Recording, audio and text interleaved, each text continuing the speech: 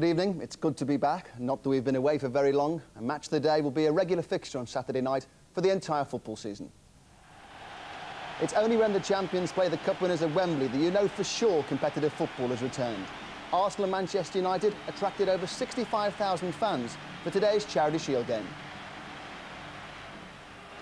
It was a great family afternoon at Wembley and a real opportunity for a new generation of fans to see in the flesh some of the real stars that play in British football.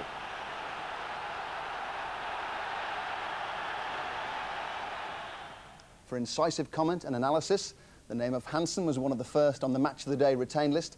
Contract negotiations were tense, though. And we're delighted to have secured on loan from club management the former Manchester United and England winger Steve Coppell.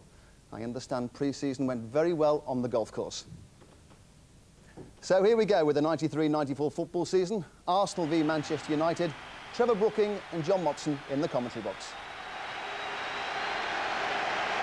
Those who feel football comes round too quickly won't find too many takers at Wembley today. The crowd for the Charity Shield looks to be approaching 70,000 and there's a buzz around the stadium as the fans take their first look at the English game's most expensive player. Roy Keane, who cost Manchester United three and three-quarter million pounds this summer from Nottingham Forest and who takes his place in the champion starting lineup at number nine. Brian Robson has been named as a substitute Andrei Kanchelskis at number five and Eric Cantona at number seven are both selected, so the likes of Brian McClair and Lee Sharpe are with Robson on the bench. Now, while United are lining up 1 to 11, cup holders Arsenal are wearing the squad numbers and names on the shirts, which will be adopted in the Carling Premiership this season. So Anders Limpar back in favour in the starting lineup, wears number 15, and John Jensen in midfield is number 17 and new signing Eddie McGoldrick is among the Arsenal substitutes. And the referee for the FA Charity Shield is Gerald Ashby from Worcester. So as the curtain goes up officially on the English season, it's Arsenal in yellow, Manchester United in red, and opening thoughts from Trevor Brooking. Well, the Charity Shield uh, couldn't be uh, between uh, two strong sides, could they? I mean, Arsenal had success last season, Manchester United eventually ending uh, that long wait for their league championship. Uh, a lot of good big names on show and also a lot on the bench, so a lot of competition for places in both sides. Yes, two substitutes allowed today, and if the scores are level at the end of 90 minutes, then we have a penalty shootout, no extra time. And Andy Linighan, who scored that last-minute winner in the cup final, just feeding Lee Dixon there. There's a flag up already on the far side. Free kick.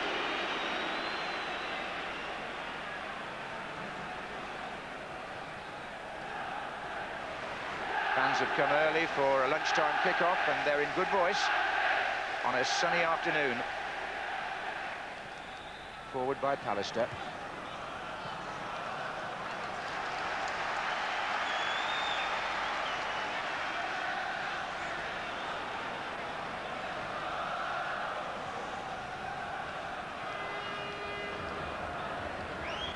Cantona.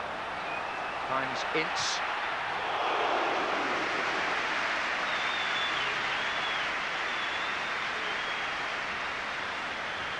Paul Ince had such an outstanding season last time round, and of course got a new partner this year with Roy Keane starting off alongside him in place of Brian McClair, who has to sit patiently on the bench. Little shove there by Pallister on right. And Kevin Campbell has made a very good run, and he's got past Schmeichel. And Campbell, a player of whom George Graham has high hopes this season. He believes that his Schmeichel complaining uh, that he believes, the Arsenal manager, that Campbell's best time may be just ahead of him. This is Giggs. Ince is in the centre. Cantona's joining him. Giggs again. Irwin outside.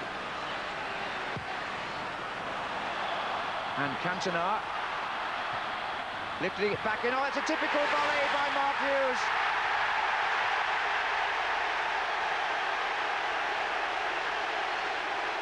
Manchester United take the lead and Mark Hughes very much the sort of chance that he thrives on. Overlapping on the outside by Denis Irwin here, picking it up from Giggs, far post cross. Two players over there, really. Cantona, lovely skill, lofted it up. Hughes, a cracking volley. That was good build-up play, wasn't it? Denis Irwin with his left foot did very well, hits it deep, goes beyond Linighan. Cantona, deft little first touch and finds Hughes, who kept it down very well. At this stage, it looks as if the danger is going to be cleared. But Arsenal didn't pick up, and as the ball's knocked back in, will be a bit disappointed to see Mark Hughes having a yard or two of space to hook the ball in. No better volleyer of the ball in that position than the Welsh international Mark Hughes. And.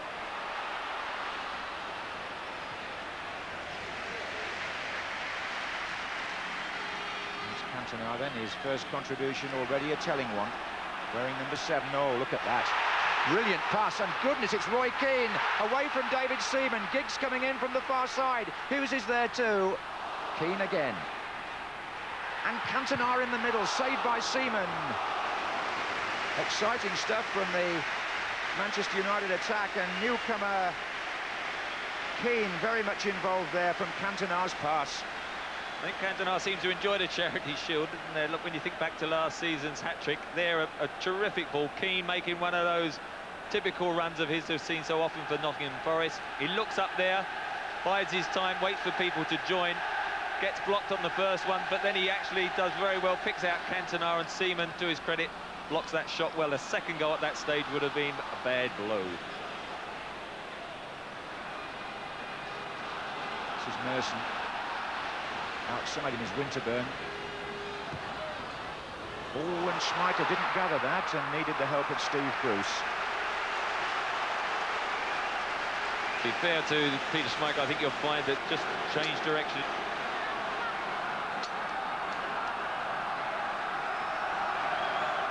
Merson to take the corner then. Adams comes in with the keeper here.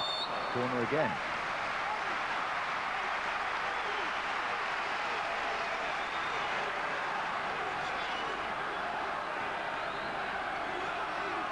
Big problem there for any defence with uh, Adams and Linighan threatening.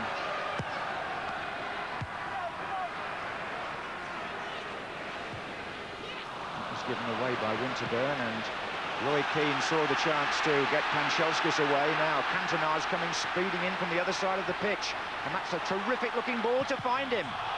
I'm not sure the shot was on goal, but anyway, it caught John Jensen and went out for a corner, but a sweeping move by Manchester United. Well, it's typical Manchester United move, wasn't it? A counter-attack.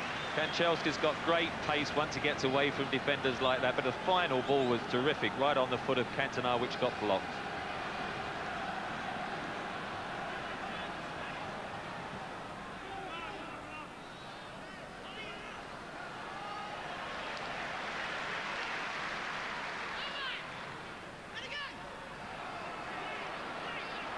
It's all a bit tight in there, but... Uh...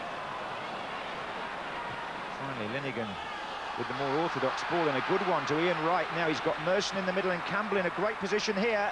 Missed it completely.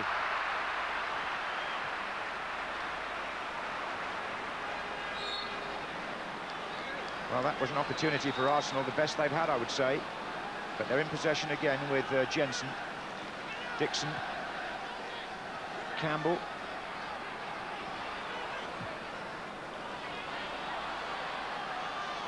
Limpar, Davis, Jensen, and now Winterburn. How good a chance was that when uh, Wright rolled that one back into Campbell's path? Well, was a pretty good chance, I think. Uh, Kevin Campbell nearly not making any contact. As you can see, right along the floor, he actually hits his standing foot. He misses it with his right foot completely. Uh, we'll put it down to early season rustiness, I think. It's a nice touch by Eric Cantona. Found Kanchelskis, Hughes. Cantona, that's asking a little much of him. The one thing he isn't is a sprinter, but uh, his deft touches have lit up for people like Hughes this opening half hour. It's so great to bring in other people into the game, and the, terrific thing from the United and Cantona's point of view is he's got so many options in this side because there's so many people wanting to get forward. Here's Campbell getting forward for Arsenal, goes away from Bruce, then takes on Irwin. A good run by Campbell, rolled it across. And there was no Arsenal player on the six-yard line to knock that in. Here's Davis.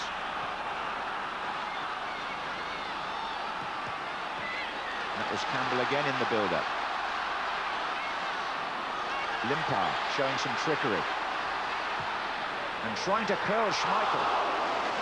And it was one Scandinavian trying to outwit another. Anders Limpar of Sweden hurling it towards the far post and beyond, as his gesture implied. And uh, Peter Schmeichel, Trevor, would he have that covered? I would have thought so. It was a good effort and uh, shows the sort of dribbling skill that he has got. This was Kanchelskis. Hughes is in the centre, and there are two or three other United players making tracks. It's still Kanchelskis, and it's a free kick against Winterburn. Kanchelskis is such a great outlet, isn't he? He's, he's only gets to have half a yard on anyone, and, and then he streaks right close to the touchline, going towards the corner, really does stretch defences. Just wonder what Giggs might have in mind here, Trevor, with his left foot.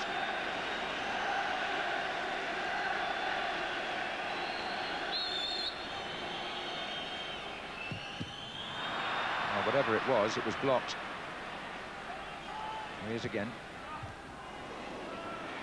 And that's Ince. Oh, I'm not sure that would have been a goal. The linesman seemed to me to be flagging to, an, to say there was another Manchester United player offside. It would have been a shame if it had gone in and then not counted. Well, I wouldn't like to see this sort of shot penalised. There was somebody fractionally offside out wide, but uh, to me, it's got nothing to do with interfering or, or, sort of blocking the view of the goalkeeper. And it was a well-struck shot, and as you say, just as well it didn't fly in the net, and the, the flag put to question.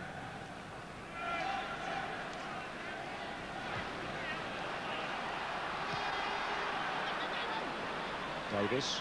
Oh, right, was it? Oh, what a tremendous shot. Ian Wright equalises for Arsenal. And if Mark Hughes provided a typical goal at one end, then that flourish from Ian Wright was every bit as good. It might even have been better. It would have to be right, wouldn't it? The header is by Davis, the turn is by Wright, and what a ferocious volley from outside the penalty area, Trevor. Well, it was much better, wasn't it? I mean, it's only a half a chance, and this is an instinctive finishing, hooking it on, and the minute it left his foot, it was in the corner. Magnificent goal. He seems to do so well for Arsenal at Wembley, doesn't he, Ian Wright? And just look at that, Schmeichel rooted to the spot, not an earthly.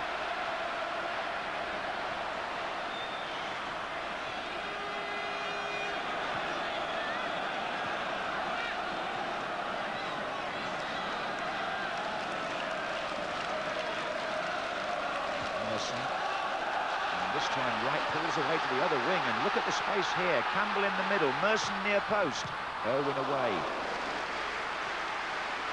Come back well, haven't they, Arsenal, after what I thought the first 25, 30 minutes went to Manchester United. They went 1-0 up.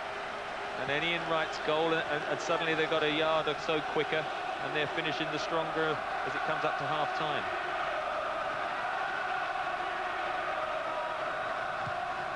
Here's Campbell again to Limpar. Adams and Linighan are still there. So was Pallister. Kanchelskis didn't make that. Here's Winterburn. Davis. Merson. And again, trying to play the one-two with Wright. A little bit too elaborate, maybe, but this is not. This is Cantona picking... Oh, look at the running here by Giggs and also by Kanchelskis, number five. And if... Oh, wasn't far away from just feeding it inside to Giggs. Another great attack.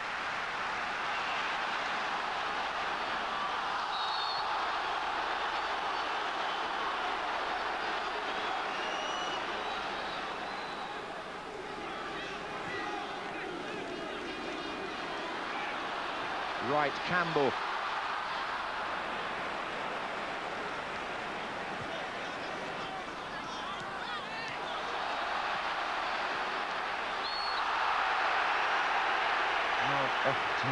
too much charity around there. John Jensen's the player on the floor. But um, there's an edge to the game. It certainly isn't a stroll.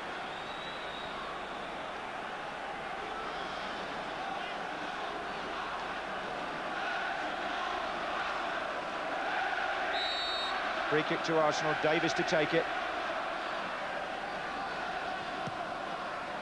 Campbell's there, good free kick. Uh, Tony Adams spun out and was free beyond Kevin Campbell. You see it whips in, goes onto the head of Kevin Campbell, and just behind him, out picture was Tony Adams, and a bit of freedom as well. They do work hard on those free kicks, Arsenal. See Adams here, just at the far post, got beyond Steve Bruce.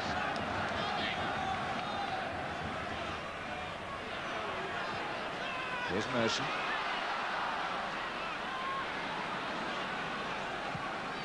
Good movement again, but uh, Kanchelskis had uh, gone back with Ian Wright.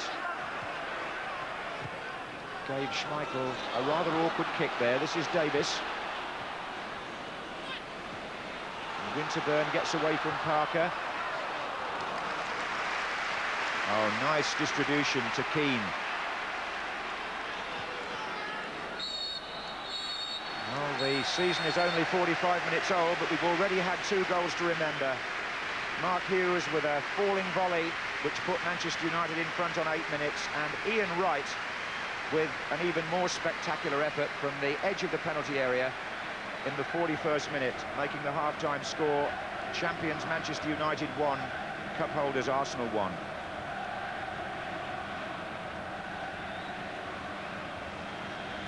Half-time substitution by Arsenal. Martin Keown, who rejoined them last season from Everton for some £2 million, is on in place of Lee Dixon, who sustained an ankle injury in the first half. This is the 20th Charity Shield match at Wembley since the event was moved here in 1974. Manchester United start the second half on the attack. Ince fouled. First one, first Charity Shield here ended in a penalty shootout between Liverpool and Leeds, and this one could end that way if the scores remain level.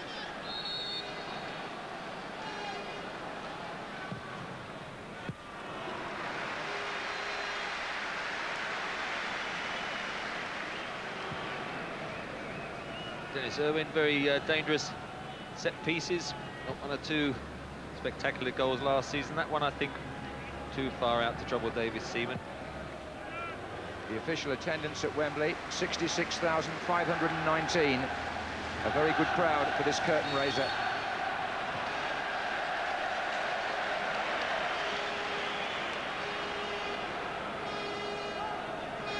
Pallister takes the free kick.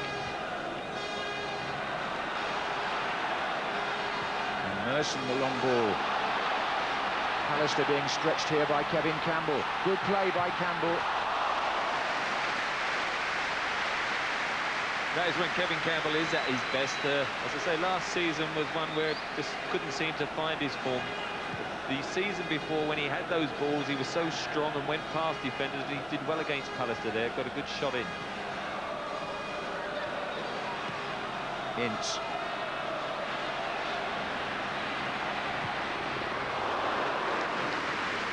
two very good efforts we've seen from Paul Ince.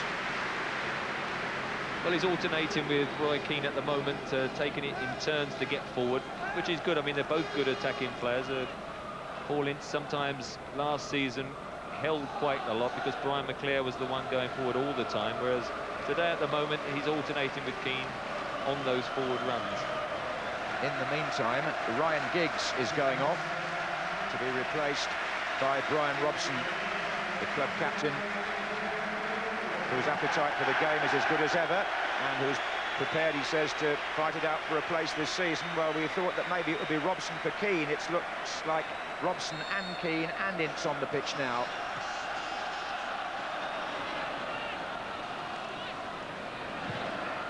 Oh, Cantona! Good challenge, Winterburn. Had to be.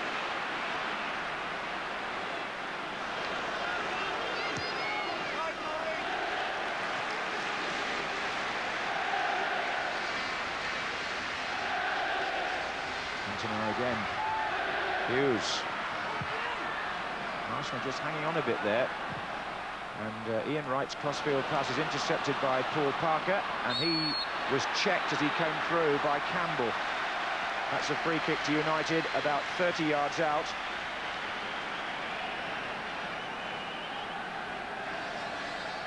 There you see Adams and Linighan pushing off to play the offside, and Winterburn did well to cover.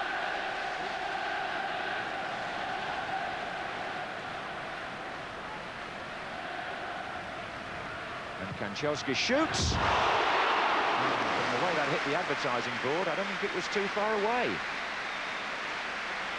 We don't often see Kanchelskis sort of dismiss the other of United players and get a chance to have a shot on target. I must say, I haven't seen him hit many as hard as he hits this one, but he strikes it perfectly and just whizzes past the post. Now a substitution. We're going to see Arsenal's new signing. Off goes Anders Limpar and on comes Eddie McGoldrick.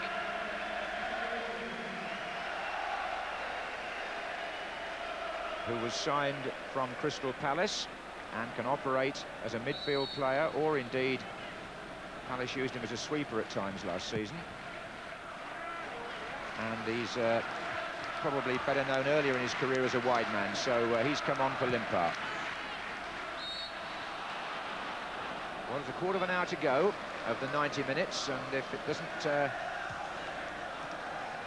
seem far-fetched at this stage of the season, it'll be a penalty shootout unless we get a goal, because there's no extra time. And the second half has certainly not been as vibrant as the first.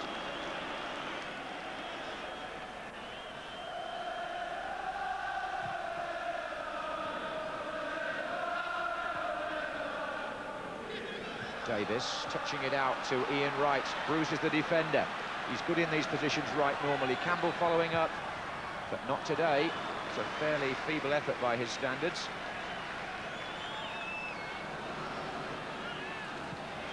And at the other end, Cantona brushes Linighan to one side, slows it up to beat Limpar. Still, oh, that's terrific, and Keane's coming in. A chance for United, and Cantona still with Kanchelskis behind him. Oh, good stuff from the Frenchman. Deserved a bit better, really. Initially, he's turned Linighan very well. Then he, he turns back out past the two defenders. I think he's going to try and lift this one to Mark Hughes, actually. But in fact, it clears both Hughes and Winterburn, who was covering. Goes to Keane, who gets a break inside and an excellent save by Seaman. And, of course, it's then turned back in and the shot blocked. Here comes Paul Ince, and the tackle was by John Jensen. Manchester United go towards the referee, asking for a penalty. Ince in particular feels affronted, but nothing has been given. Now here's the first tricky call of the season for you, Trevor. Well, Paul Ince is past Jensen, isn't he? Does he make contact with the ball? No, he doesn't. And although Paul Ince might well have been looking for the penalty, look, you see again, does the defender make contact? No, he brings Ince down, and for me, 100% penalty, but it's not given. Ah, there we are then. There's our first argument of 1993-94. No penalty given, so play continues with Arsenal on the attack. Here's Merson.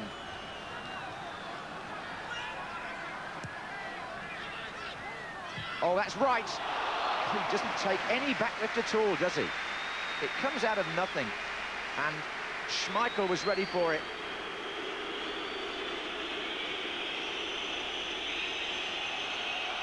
Another great shot on the turn. Straight to Schmeichel, though, this occasion. The United fans are still booing the decision at the other end, but it's a corner to be taken by McGoldrick. And here comes Linighan. Oh, and Wright was in front of the keeper, and so was Adams. And how that one stayed out, well, I think Michael can tell us that. He was a busy boy in there. Andy Linighan obviously liking this end as far as corner kicks. Of course, the cup final must have sprung in his mind there. And Schmeichel just arrogantly picks this one out with one hand. Some good keeping in there because uh, Wright was looking to convert Linighan's header from close range.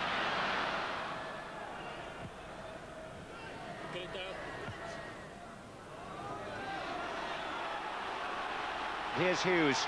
Cantona square. Oh, he didn't get the angle on the pass, Mark Hughes. So the Charity Shield match ends 1-1. Hughes and Wright the scorers. And now the teams must take penalty kicks to decide who wins. Just brings back memories of three years ago when Spurs and Arsenal drew nil-nil here in the Charity Shield and it was shared six months each club. That used to be the way it was done quite whether we need to have a prolonged penalty shootout at this stage of what's going to be a very long season. I'm not entirely convinced. From my recollection, David Seaman, the Arsenal goalkeeper, has a good record in penalty shootouts. He saved three, I believe, at Millwall last season in a League Cup tie. And he has to face the first one today from Manchester United's Paul Ince.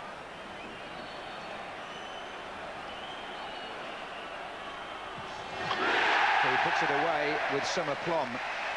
1-0 to United. Well, never any problem as soon as the keeper's gone the wrong way there, safely home.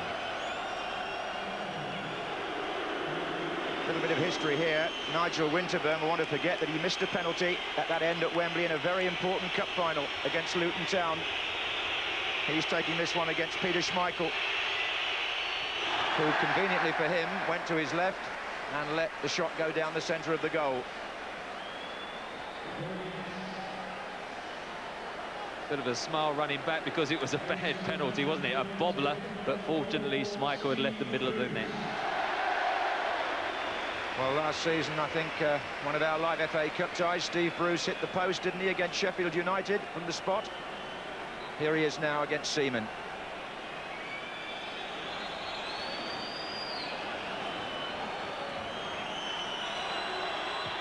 Oh, when the chance came, he made no mistake.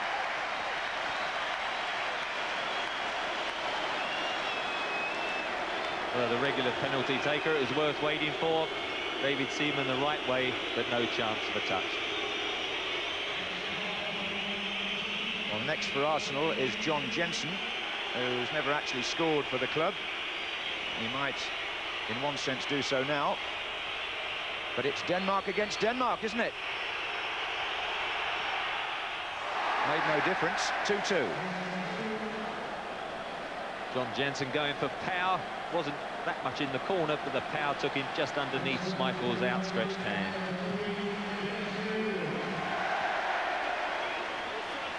Denis Irwin for Manchester United. Oh, good save by Seaman.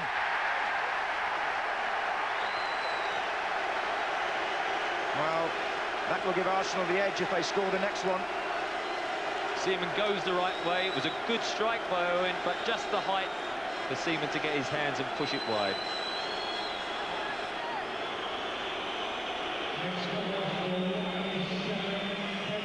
Well, Kevin Campbell comes forward now. Didn't hesitate there. All there. Arsenal lead by three goals to two, and each team have taken three penalties. Again, Schmeichel goes one way, unfortunately for Kevin Campbell, the ball goes the other. Now the 3.75 million pound newcomer Roy Keane in his first full game for United. Shouldn't think he felt we'd be into penalties at this stage of the season, but uh, we are. And here's the outcome. Oh, straight down the middle. Well, that's 3-3, but Arsenal have a kick in hand. That was probably the worst struck of the four penalties for United, but it was through the middle, and David Seaman had gone to his left. Next man to come forward for Arsenal is Paul Merson.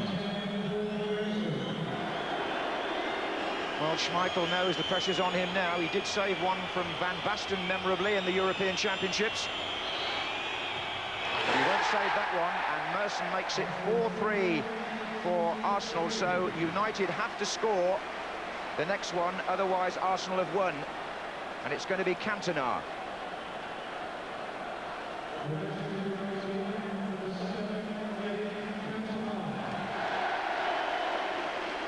Well, this is the man who wrote the headlines on the Charity Shield Day last year with his hat-trick for Leeds United against Liverpool. Today it's down to the Frenchman to save the day, or keep it going anyway. Cantona can't afford to miss.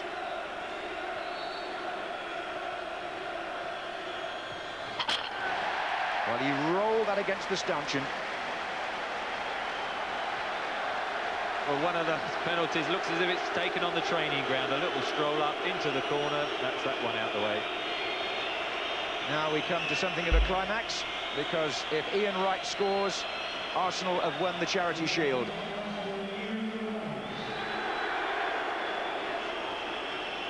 And he's got a fine record in club football at Wembley.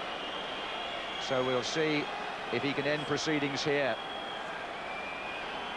Don't forget he scored twice from the spot in South Africa against the same goalkeeper two weeks ago. What has Schmeichel learned from that? And he's put it wide.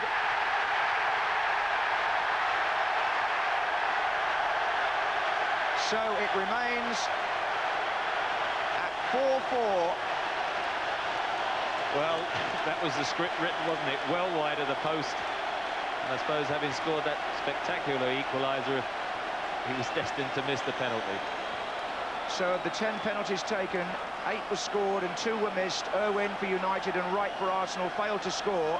So we now start what is uh, traditionally known as sudden death. It's now shot for shot. And Brian Robson has come forward to take the first in the second sequence against David Seaman.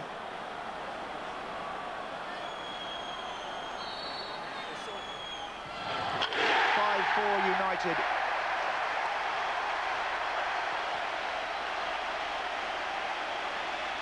I know the players who are in the sudden death ones always think they'll never have to take them. So Brian Robson, I'm sure, quite relieved to put his in the corner away from Seaman. Look at this, David Seaman himself here, shades of 74 when David Harvey took one against Ray Clemence. It's going to be Seaman who has to score to keep Arsenal in the competition. And the other goalkeeper knew too much. And Manchester United have won the FA Charity Shield on penalty kicks. Brian Robson's kick in the end was decisive, so that's uh, a nice moment for him. But in the end, I don't think anybody else on the Arsenal side really wanted to take one. Certainly nobody pushed Seaman out of the way. and so the Charity Shield is settled in a penalty shootout. The final score in the match was 1-1. The final score on penalties alone was Manchester United 5, Arsenal 4. Former England captain Billy Wright, now director at Wolves, handed over the Charity Shield to Steve Bruce and Peter Schmeichel. A gate of over 65,000 generated good gate receipts. That's good news for the charities that will benefit. And well done to Manchester United, who flew the flag for Britain's bid to host the Olympic Games in 2000. It was a good day for Manchester. Today, I think it showed that we still need one or two games. I think one or two of, our players still need the matches. Uh, we started well and then started giving the ball away.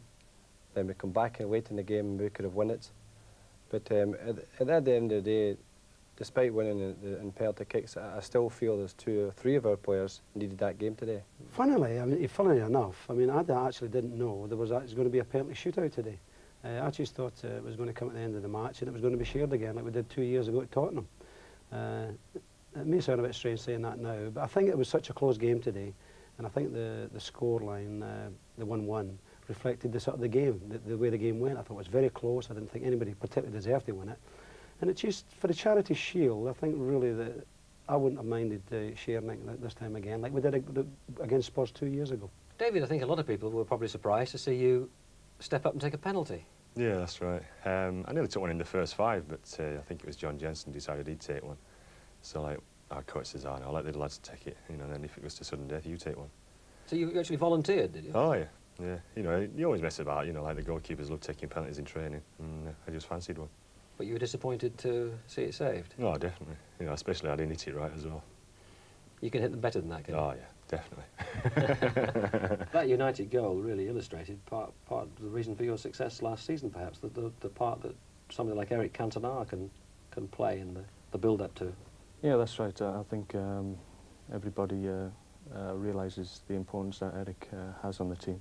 Um, he's, uh, he's very aware of everything about him, and uh, I've certainly benefited from the fact that he's come to our club. Um, I'm able to, to get in the box more, and I know that if I make any kind of decent run, Eric's uh, likely to pick me up. I was pleased to score, you know, I thought we was playing well.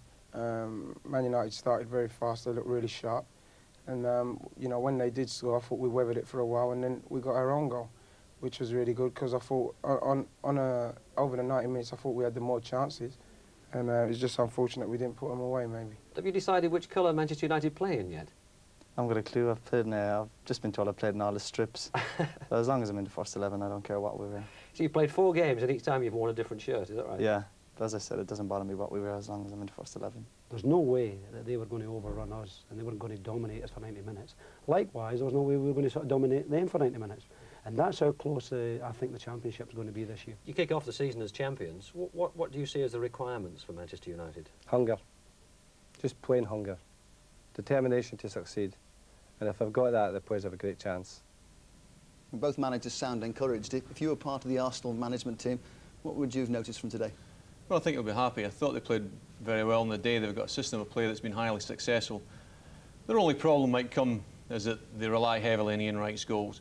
If these goals were to dry up or he was seriously injured, then it's difficult to see where the, the goals would come from.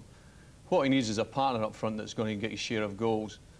Kevin Campbell was his partner today, and he actually played very well on the day. But unfortunately for him and Arsenal, he never looked really like scoring. This is a typical Arsenal move, ball over the top, right onto it quick.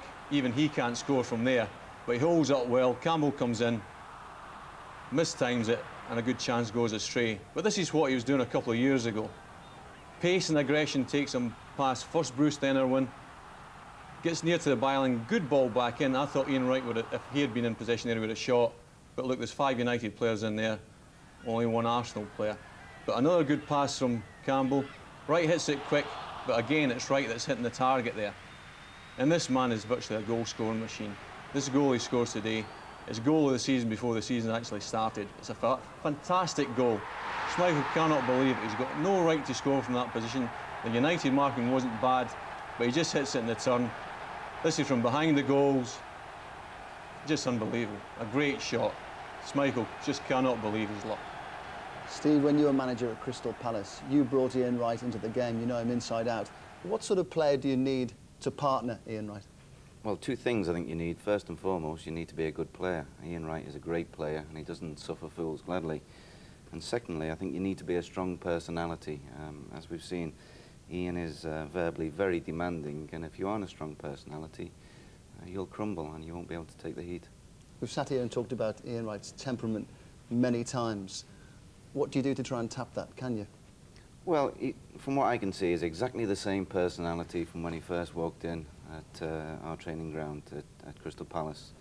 And I think if you tried to change him, you wouldn't, you wouldn't get the same player. He needs that fire in his belly. I wouldn't try and change him at all, just leave him. Are you surprised that he's become well, one of the leading strikers in the game? Delighted, a little bit surprised. When he first came, he had the ability, there was no doubt about that, right from day one. But to have achieved as much as he has, I have to say I'm a little bit surprised. So we know Arsenal might be able to score goals, but they look equipped to, to stop them at the back. David Seaman looked good today. He's playing great. He had a great season last season. A couple of years back, he had a bad time, but he's back to top-class form. He really is the best keeper in the country. And he, he does well here because he comes off his line quickly and he takes Keane wide. But you watch him when he goes back in his line here. Keane's got the ball. Watch him in his line. He's alive, alert, he's aware of every possibility. And when eventually he stops it, he reacts quicker than anybody else and gets up and saves it. And that's top class. United on the attack here, they've got a man over. Roy Keane comes inside. Again, Seaman's angle is great, and the save really is fantastic. And they say that a good goalkeeper is worth 12 points a season. Had a hernia operation this summer. He's obviously recovered well. He has done. The only blemish in an otherwise perfect performance was the penalty kick, wasn't it? I mean, I could have saved that. But Steve, you played in a great United side in the 70s. What do you make now of Manchester United 1993? Well, a couple of things struck me today, and to echo Mark Hughes, if we look at the two Seaman saves there through the eyes of Eric Cantona, we can see and appreciate his value to the team. He picks the ball up wide here, and he plays a great ball through to Roy Keane. A typical Roy Keane run, but it's Cantona's space that he's taken. Uh, Roy Keane then gets uh, a second chance at a cross, lays the ball back, and the man who's there to finish it, have a good strike, is Eric Cantona. The second incident, he picks the ball up, he shows his strength, holds off Linighan, and then you see his vision. Wonderful vision. I'm not sure whether he actually meant this chip, but it lands at Roy Keane's feet, he comes inside, shoots, and there's the man again on the end of it, Eric Cantona. And I'm sure we're going to see that combination score a few goals this season. The other thing which struck me as an old Manchester United winger, how pleasing it was to see the, the wingers pick up the ball and stay wide to deliver early crosses. Ryan Giggs there, and this typical Manchester United move on the defence one moment, defending a corner, they pick the ball up, ball goes to Kanchelskis, who again, I love to see him stay wide, drags the defender across, hits a great ball for Eric Cantona once again to have a strike. And finally with the goal, Giggs picks up, wants to play an early cross, gets a second bite, lays it out wide again. Denis Irwin hits a terrific cross. Another piece of Cantona magic and a typical Mark Hughes volley. As an old Manchester United winger, did it make you want to get your boots set again? Well, I've been thinking that a few times since I left. Now, United have got a strong squad, obviously, but do you see any chinks? Is there anything that will concern Alex Ferguson? Well, they do have great strength and depth, but the one thing which might just concern me a little bit is if any of the defenders get injured, then they have to uh, move Paul Parker around, and they, they don't appear to have the proven strength and depth at the back. Well, it went to a penalty shootout, but it could have been settled on a penalty within the 90 minutes. A John Jensen challenge on Paul Ince? Yeah, definitely. The ball's laid into Mark Hughes, who flicks it into Ince's path. And the challenge from Jensen. If Jensen makes contact, then it's not a penalty. Well, we see it from behind the goals, and it's evident that Jensen doesn't make contact, and it should have been a penalty kick. It's a difficult one to call early on in the season. Perhaps a third umpire should have been there. Eh? Early in the season, you're up to speed already on match oh, referees. Thank you, thanks. Steve, I must say, you were a long time as the manager at Crystal Palace, nine years. We've enjoyed hearing you tonight, but might we hear you again in the near future as a manager? Well, I, I, am a manager. I still see that as my occupation, but realistically, I can't see myself uh, getting a job October, November at the earliest. So I'll be hanging around for a while yet. Available if the phone rings? Definitely, definitely. Seeing two good teams there today, do you see Manchester United retaining their, their title? You championed them all last season.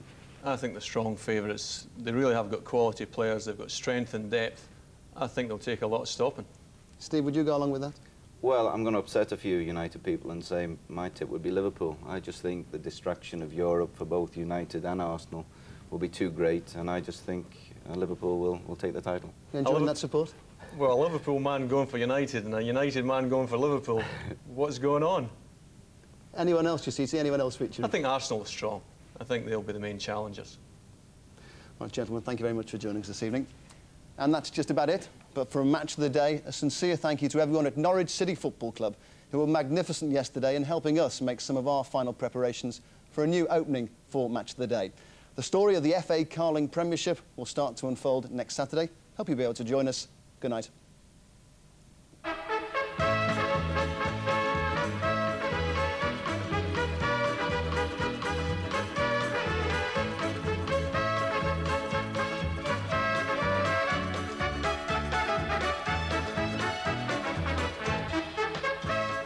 Next on BBC One Test Cricket with highlights of today's play at Edgbaston.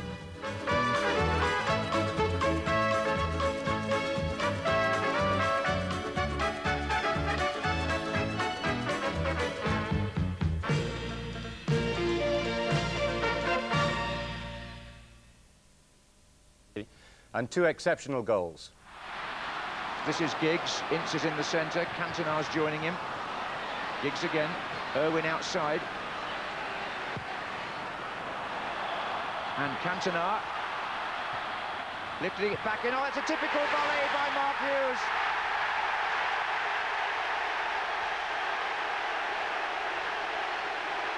Manchester United take the lead and Mark Hughes very much the sort of chance that he thrives on. Davis. Oh, right, was it? Oh, what a tremendous shot. Ian Wright equalises for Arsenal. And if Mark Hughes provided a typical goal at one end, then that flourish from Ian Wright was every bit as good. It might even have been better. One all at 90 minutes and then one miss each during the penalty shootout before this bizarre conclusion as Arsenal's keeper David Seaman fancied his chances against Peter Schmeichel. He never misses in training. The champions take the Charity Shield, but uh, really very little to choose between United and Arsenal, the two favourites for the Premiership Championship. Well, Seaman had a great game, Bob, but the spot kick was a bit of a disaster, wasn't it? I would blame his coach personally. Who was his coach? He saved a penalty. Penalty saving. I have nothing to do with that. He really has so much confidence, Alan. Actually, you're one to speak because a little birdie told me that you were taking penalties at the beginning of the week, and I was highly pretty, impressed. Pretty successfully, I was, well, this is impressive. This Actually, is, you never lose it, do you? Now, that's impressive. That is impressive, but pressure's on now. What happens with this one, Alan? Well, somebody moves the goals here, I think. It's Clemens, Clemenson goals. You definitely move. Blame the referee. Should have taken it again. OK, let's move away from the charity and the good fun. I oh, say you should put your money where your mouth is, and I do like a little flutter on the league championship at this stage of the proceedings. Liverpool at 6 to 1 strikes me as a very good value bet. The best price against the Anfield Club, surely, for many years. It's also the last season of the Kop before it's converted to seats, and those who've stood there for so many years will want to go out on a high note. So, with the team strengthened by the signings of Neil Ruddock and Nigel Clough, it's Liverpool for me for the championship. Well, at the risk of being a little perverse, I think the further Manchester United travel in Europe, the better their chance of retaining the league title. That's because it will justify the squad and heighten the ambition, particularly for Eric Cantona, the key player. Given the size and strength of Manchester United's squad, it's foolish to argue a case against them. But if the European campaign were to prove a distraction, then I'd fancy Aston Villa to go one better than last season. Well, I'm sure most clubs watching are doing so with trepidation because my past record of predictions isn't particularly impressive. But I think looking at European competitions, I've decided to steer clear of the clubs involved in those. So the two obvious candidates, Manchester United and Arsenal, aren't included, and for the same reason, not Aston Villa or Norwich. And so looking at the other clubs, I've decided Sheffield Wednesday or Liverpool were the main two, and I've plumped for Sheffield Wednesday. Manchester United are obvious favourites and with such good reason it's difficult to argue against them. My only reservation is the possible distraction of Europe. So I'm going to go for Aston Villa. They didn't quite get the trip last season, but they still finished second. They've signed some good reinforcements, got a good manager, play good football.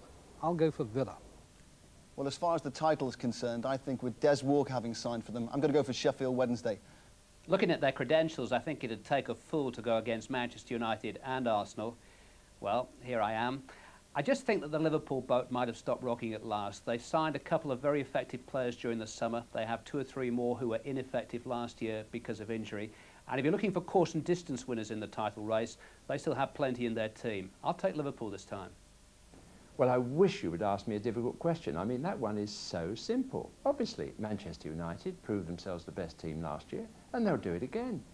Well, we're listening, Jim. Some bad each. judges there, Bob. Interesting. I don't think people should put too much money on this, uh, Alan, but uh, two for Liverpool there, John Motson, Clive Tyldesley. Two for Manchester United. I thought it might have been more because they are so strong. Two for Sheffield Wednesday. They're one that I fancy as an outsider, certainly. And two for Villa. Time for you. Yeah, I think Manchester United, I think the Premier League's there for the taking for them, if they really want it. Alex Ferguson spoke last week about hunger. I think his only problem is to keep everybody happy. They've got a strong squad.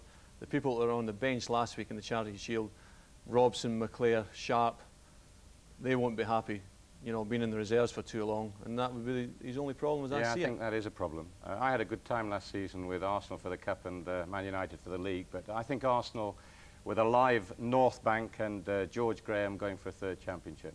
Do I sound yeah, I biased? well, I think I think they've, they've got a great chance, Arsenal. They're very strong, but I want you to see the tape of that where you tipped them for the two cups last It's year. It's true, honestly, it's true. Let's have a look at the betting, Alan, here for the championship. I, as I say, I picked out Sheffield Wednesday. They're very good bet at 16 to 1, and Leeds United probably better at 20 to 1.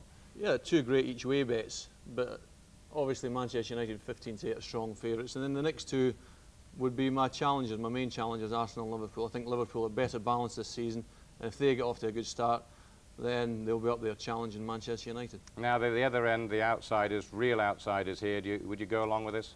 I think so. I think most of those will be concentrating and not going down. I think they'll be happy to survive, most of those sides. I think I gave you a little bit of uh, poor information when I said Duncan Ferguson. I told you Duncan Ferguson hadn't played. I think he played on Wednesday and scored the winning goal against Dumbarton. So he is Thanks, on his Bob. way, Duncan Ferguson. Sorry, we've corrected that. Anyway, match of the day tonight. I'm sure you'll want to see that. It's 10.40 on BBC One. All this afternoon's goals and best action. Alan will be there with Trevor Brooking and Ray Stubbs introducing. And finally, just uh, on a new season as it begins, certainly in England, good luck to everyone this afternoon. Coventry, the player who did the damage was Mick Quinn. A first-half penalty and two typical strikes in the second half helped Quinn to an opening day hat-trick. He's already backed himself at 50 to 1 to be the Premiership top scorer.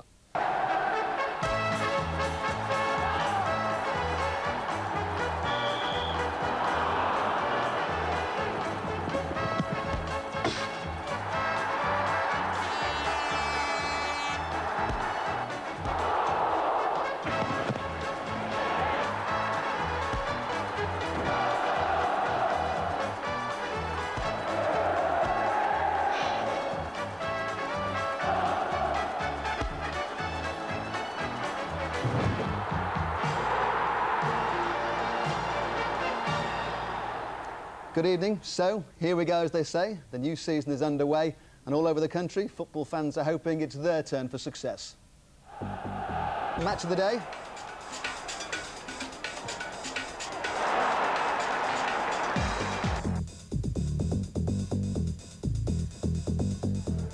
A year ago, Arsenal began the season with a surprise home defeat by Norwich. Today, Lee Dixon's challenge on Peter Ndlovu set the scene for another full start at Highbury. A penalty, no question, said referee Alan Wilkie. And for Mick Quinn, a good day was only just beginning. The second half, even better for Coventry. Wegerle with the vital back heel, despite Tony Adams' attention, Quinn irresistible. And three minutes later, an already miserable afternoon for Arsenal got even worse. Quinn's finishing, his manager later described as exquisite.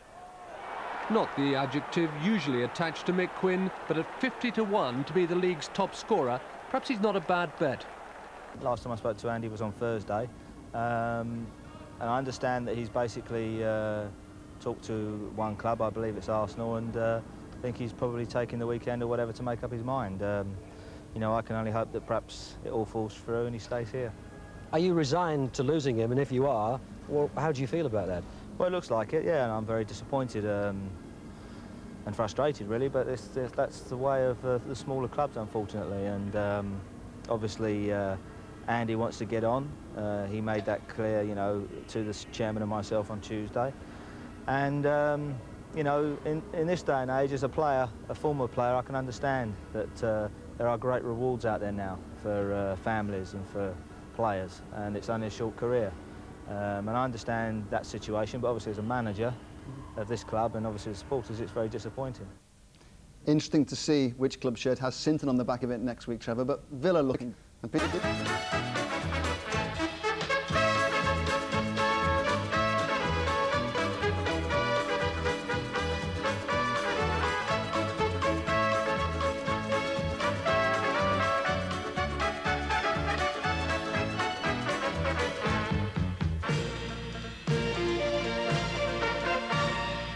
Coventry 3-0. Bad start for them. Well, it's a shocker in a way because, I mean, they started last season the same, in the same vein, you know, the couple of defeats. So, you know, Arsenal are a big tip to win this Premiership. And uh, it was a terrible result for them, Yeah, really. But you see what happened last year, they bounced back with two cups. So you can never tell. But it's, I mean, it's early days. It's like the, the first hole of the a major golf championship. You know, you can have a bogey but still win the, the trophy. Though the feeling must be quite good there in Liverpool. Got one up on them at, so early on in the season. having But that was a at good result for Spurs yeah. on Saturday. Because, I mean, they've taken a right pound in Spurs, most of it self-inflicted, of course, at board level. Mm-hmm. And Arsenal have sat back, quite rightly, smiling at the situation.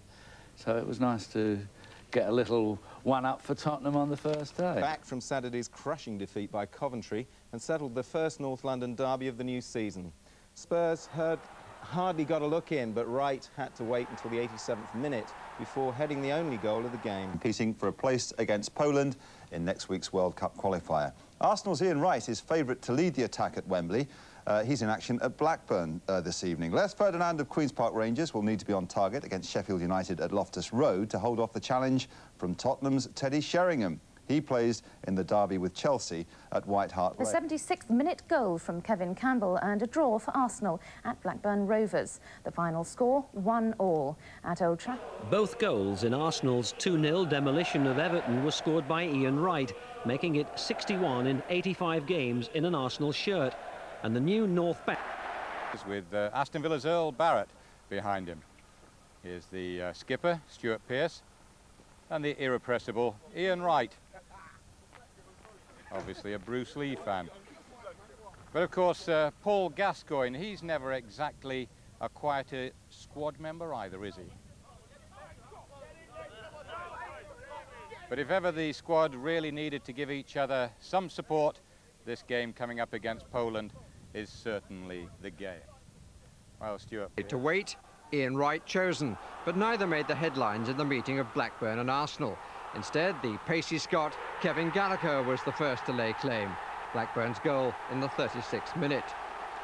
Shearer, in fact, didn't appear until the 53rd. It wasn't Wright who scored Arsenal's equaliser, but Kevin Campbell, strong in the challenge and in the finish. Uh, position after six games, five points behind Manchester United, who are now three points ahead of Arsenal. Enjoying a private joke at the expense of Queen's Park Rangers, Les Ferdinand. And I must say, uh, there really is a terrific spirit within the whole of the squad. Only one talking point. For Next, uh, last Wednesday's much heralded win at Wembley against Poland. Right. And here's Ferdinand. Goal! They lost them. It was well taken. He got between two markers and finished with a plum.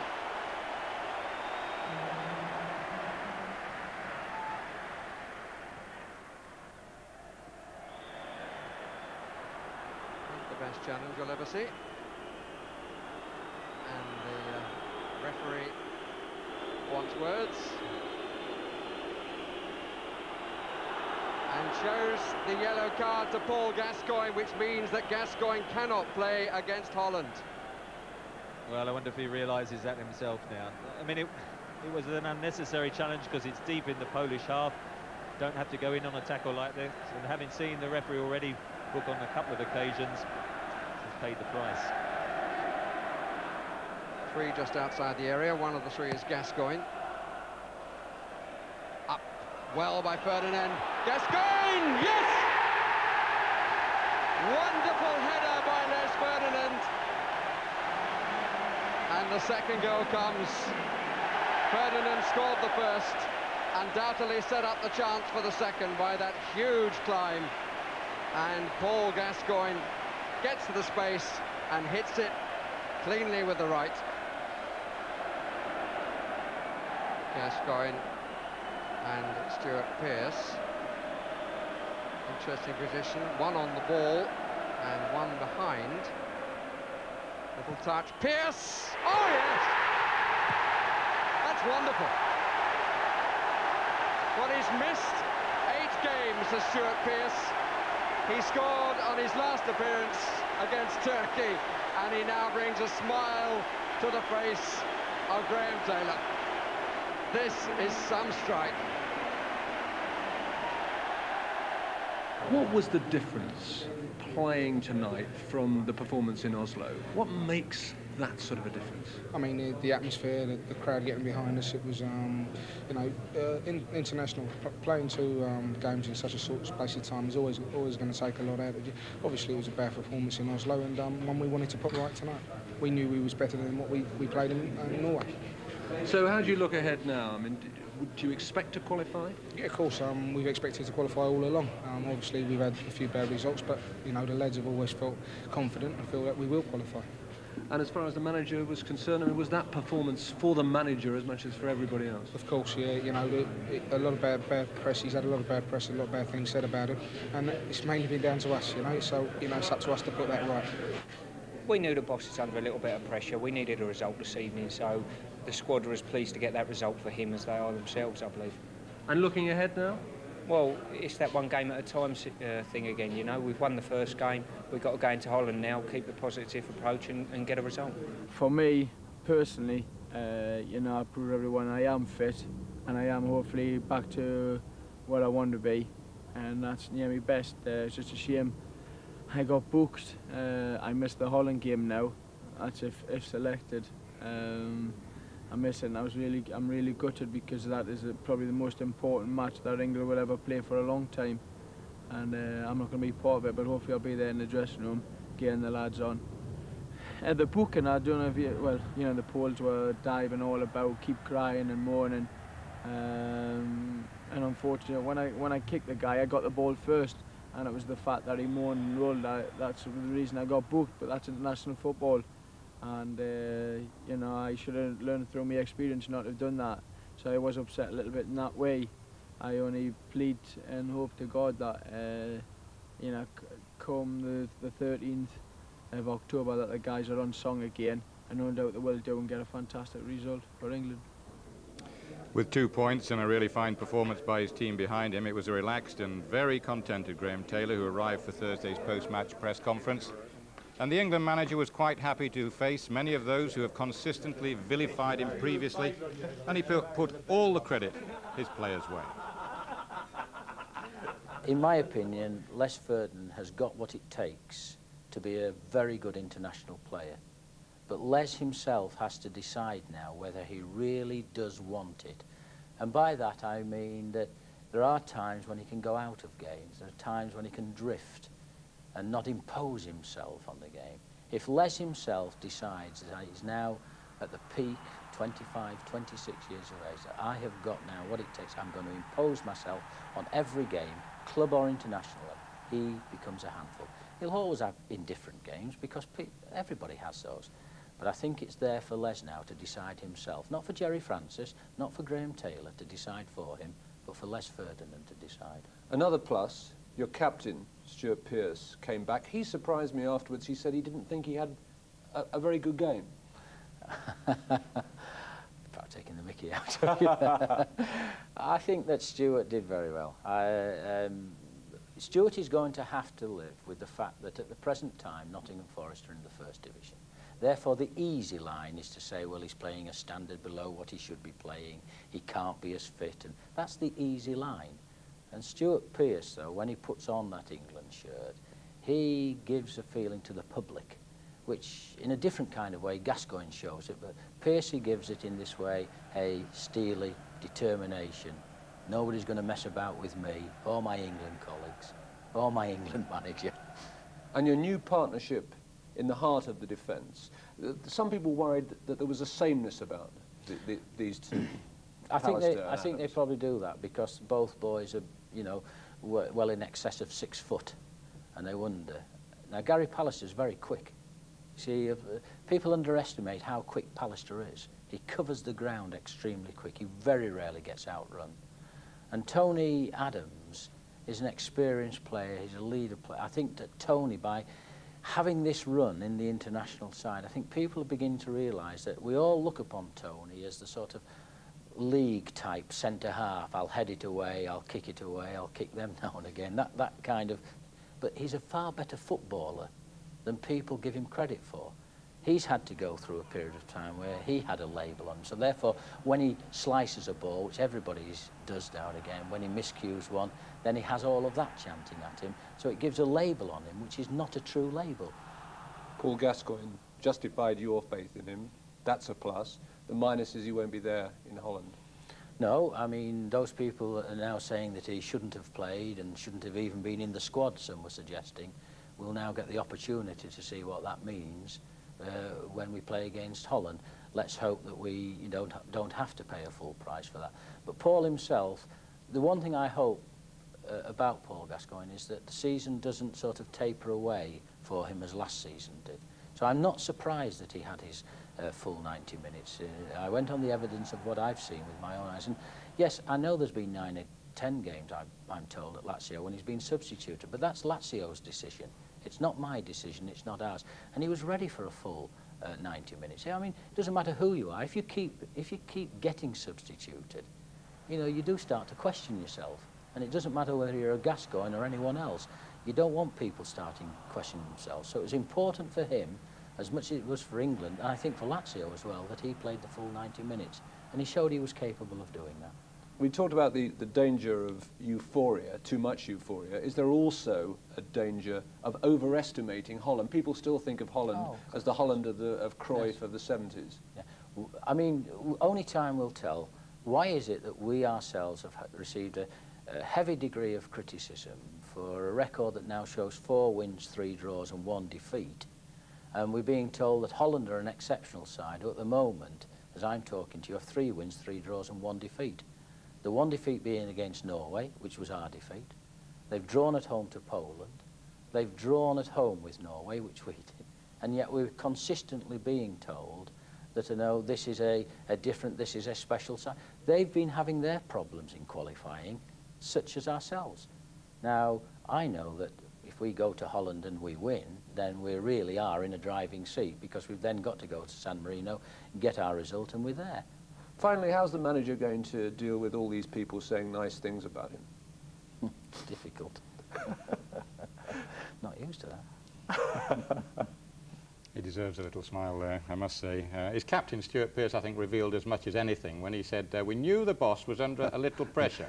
Yeah, I think that epitomises the life of the manager this week. I saw him on last Sunday in an interview, and he looked very tense, and understandably so. There was a lot on it. Everybody was unsure about the result. It was the nerves were, were, were, creeping in. He's got to rely a lot on himself, but more on other people. And there, all of a sudden, we get a great result, and he does a terrific interview. So they He's it?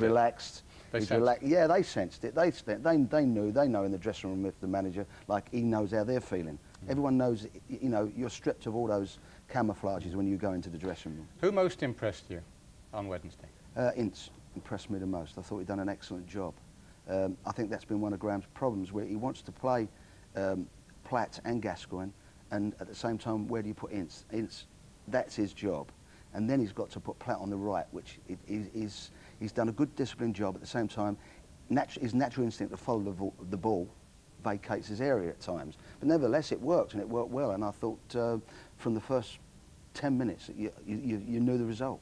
So the match in Holland, uh, any changes other than the obvious no Paul Gascoigne? Well, um, he's, he's, he's very confident with the team. He's pleased with what they've done, and I would say wouldn't make any changes. Um, his problem is, of course, you say Gascoigne.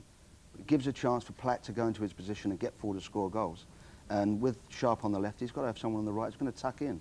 And um, Have you got somebody in mind? well, funny enough, I've all, I, I believe uh, that Trevor Steven, who played in the semi-final against Germany, um, when we did so well there, is, is the best at that job, at tucking in, and he knows it, and he's experienced. We need an experienced man, and he's not even 30 yet. Yeah. That surprised me. That's, a, that's, a, that's an interesting bit. A result, Terry?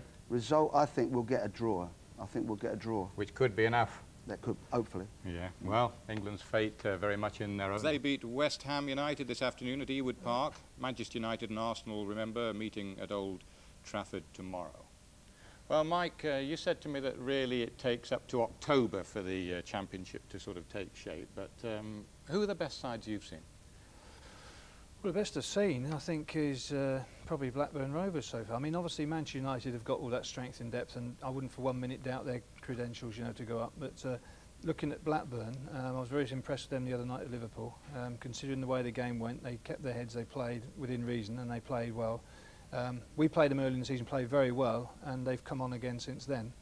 Um, Arsenal, having I've not seen them live again, seen them on television, have, have looked as if they're quite strong, especially the other the win against Ipswich. But I have to say, one of the best performances I've seen, actually seen on the day, was Newcastle Ipswich. I thought they were magnificent, and uh, to only get a draw, it was a it was a bit of a travesty, really. But uh, I think you're going to find uh, Manchester United, Arsenal, Blackburn.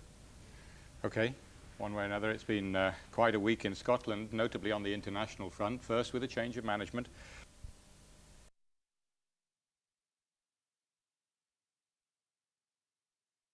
At four stitches in a gashed head after a freak accident, he didn't train in goal today.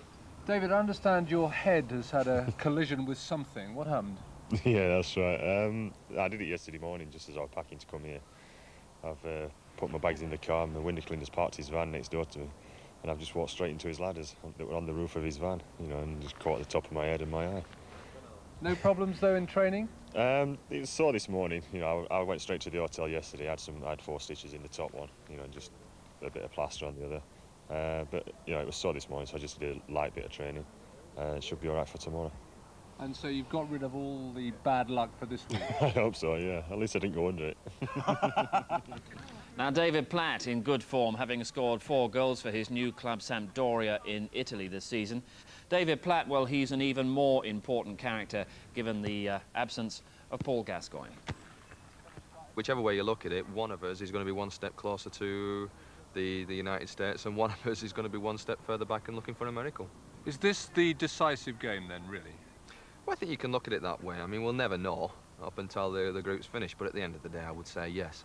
Um, the last game against Poland a month ago was obviously decided because if we hadn't have won the game, then we wouldn't have been talking in the same breath as we are about this one. But we won that game 3-0 and we deserve to win it.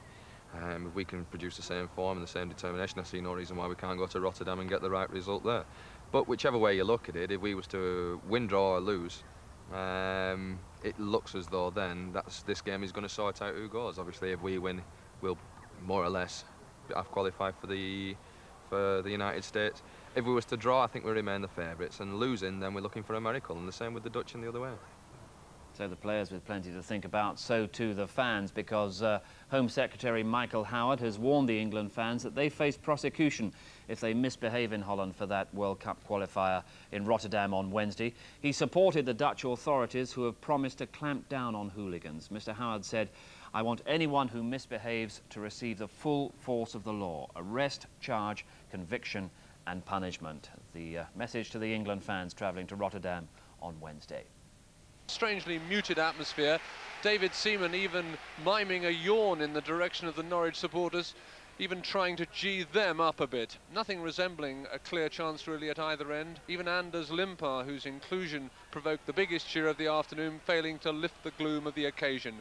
A Merson shot a foot wide, then Ian Wright a moment ago. A couple of Norwich free kicks, the nearest we've had to a goal. Things can only improve. Trafford won't improve Highbury tempers. Norwich, you suspect, will be happy with a second draw in a week here. A first half short on chances, short on inventiveness, short on passion, really just about everything. Ian Wright eventually creating a minor alarm in the Norwich defence, a run and deflection palm clear by Bryan Gunn. At the other end, Arsenal only under pressure from a couple of free kicks. A better second half marginally. Anders Limpar restored today, setting up a chance that neither Smith, Paul Davis nor Ian Wright could force home. A good save in truth by Gunn. Late on, Ian Crook clearing off the line from Tony Adams, even if he didn't know much about it. But both sides looking for inspiration and not finding it with just over two minutes to go. It is Arsenal nil, Norwich City nil. And Norwich and Arsenal, of course, they were in second place jointly already. Now stretched their lead at the top of the Premiership to a massive 11 points after Norwich City and Arsenal fought out a goalless draw at Highbury today. The Second in the Premiership at Highbury, and Arsenal's goal famine continues. Three successive goalless draws in the league before today, and now it's four. Tony Adams frustrated there by Ian Crook's block. Norwich seemed happy with a second Highbury draw this week, but quite how they kept Arsenal out late on remains something of a mystery. In injury time, the deadlock's so near to being broken, but you know Ian Wright's luck is out as well. Arsenal have gone through the whole of October without a Premiership goal. And who knows, maybe in tomorrow's press we might see uh, a few headlines, which is unlikely. Unlucky Arsenal. I mean, you know, that would be an event. Top of the table tonight, today's win for Manchester United leaves them 11 points clear, the biggest ever leading margin in the top flight at this stage of the season. Well, Arsenal, if you stay up, we'll show you those goals later in the programme. Tonight, Blackburn remains second following Aston Villa's defeat by Southampton. Newcastle's 4-0 win over Sheffield United. Director of Coaching...